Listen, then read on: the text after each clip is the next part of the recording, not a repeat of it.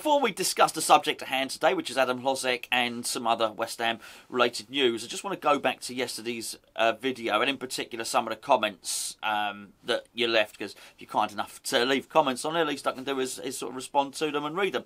Um, and there was lots of people commented yesterday. I mean, it must have been a, a topic that was of interest because I had twice as many comments as I usually get on a daily video, certainly.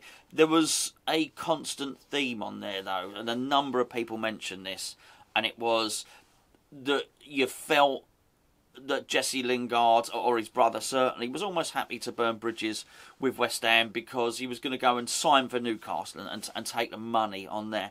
Um, I just really want to come back on that one quickly. Uh, also, now, since I did the video yesterday, another story has emerged that Jesse Lingard is not going to sign a contract at Manchester United, and also that Jesse Lingard is received interest from Atletico Madrid and and Barcelona, two La Liga giants, and well, you you have to assume that if Barcelona came calling, certainly that most players most players would go and most players would join.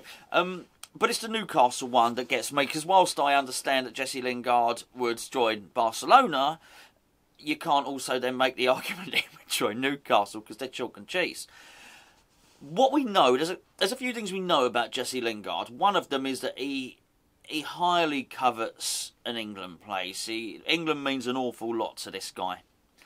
And I think if he goes to Newcastle, okay, there's two things. He goes to Newcastle now, um, he ain't getting into England this season. He just won't. And then obviously you've got a World Cup coming up.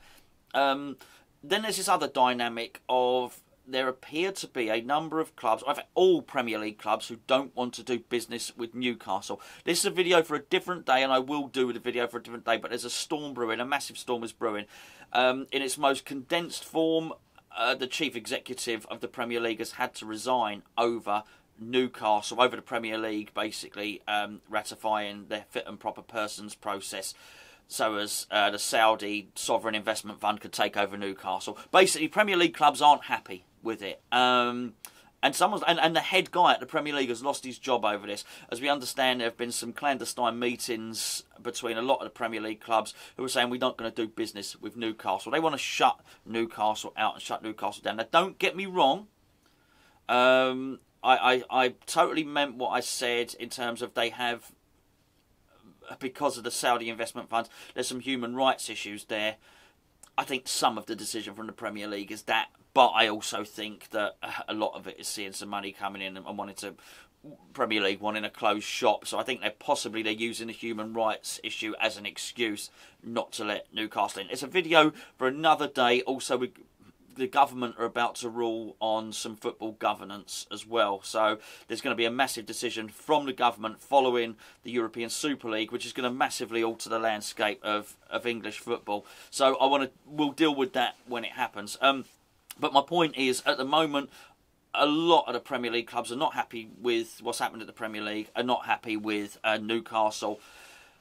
I'd be very surprised if Manchester United sold Jesse Lingard to Newcastle. Um, Okay, so that's that. A couple of people made the point that Jesse Ling that Manchester United wouldn't sell Jesse Lingard to West Ham in January because West Ham are direct rivals. Great point. I hadn't considered that at all. Uh, why would Man United want to strengthen West Ham? And, and uh, it's as good an argument as I've heard, actually. So, uh, yeah, I, I, think maybe you're looking at January. But my point is, if Jesse Lingard does want to sign for Newcastle, he is going to sign for Newcastle. It will very much be a money decision. I, I think he can wave goodbye to his England place.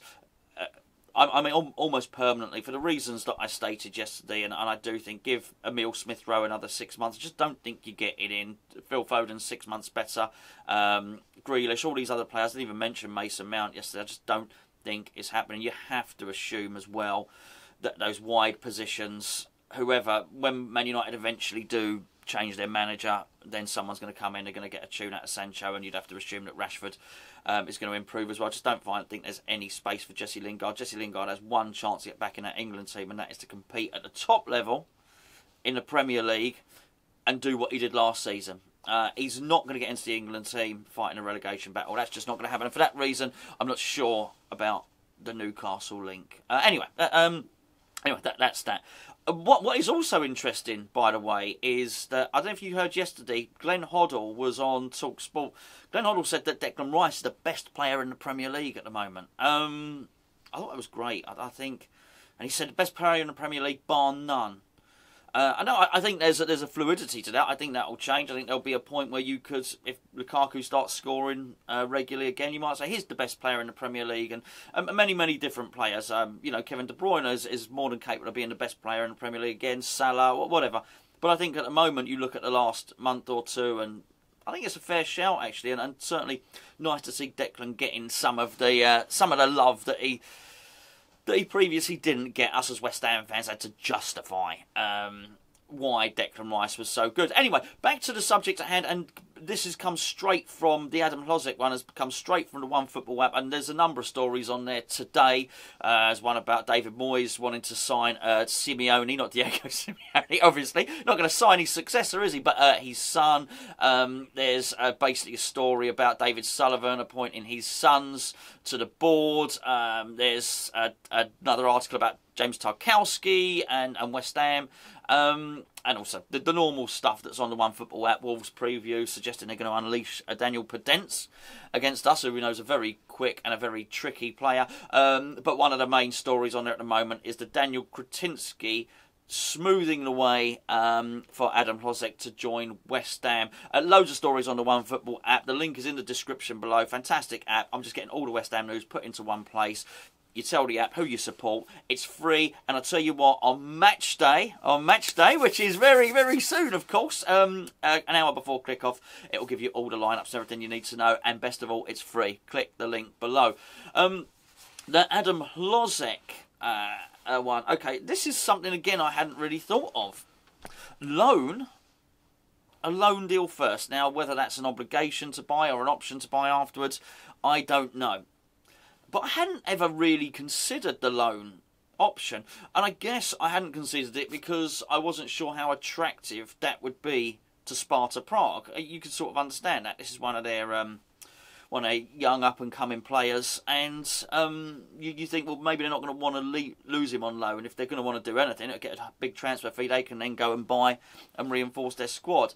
However, when we've got someone on our board who's also on their board, uh, not sure how that's going to work long term. I'm sure it's I'm sure it's legal, um, but it doesn't seem quite right. Um, anyway, whilst we're there and whilst there's a loophole there, I guess we'll look to exploit it. Um, could we then, could we basically, could West Ham approach Sparta Prague and say, excuse me, can we have him on loan? It's basically be Daniel Kretinsky phoning himself. Hello, Daniel. Yes, it's me. Um, can we have, can we have Adam Hložek on loan? Yes, you can. Yes, you can. Um, I guess the deal is, is easily done there. I think it makes sense for all parties. Um, this one, actually, I, I, what, what am I talking about? What utter nonsense. I think it makes sense for West Ham. I think it's a terrible deal uh, for Sparta Prague. Um, as, as I've said before, I'm not in. I don't want to stitch other clubs up. Maybe Tottenham, but I don't want. To, I don't want to sti- generally don't want to stitch other clubs up in the way we do our business. I think us as a club have been stitched up so many times. I, I don't like to think that we do it um, to other people. Um, this is good though. This is good for West Ham, and it, it's a it's a try before you buy, unless there's an obligation.